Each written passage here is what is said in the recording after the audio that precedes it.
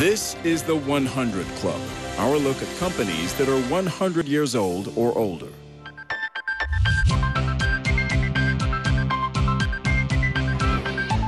When I talk to anybody and tell them I work at Crayola, they always have a story to share about their first box, their first 64 count box, or the 24 count box that they use for school.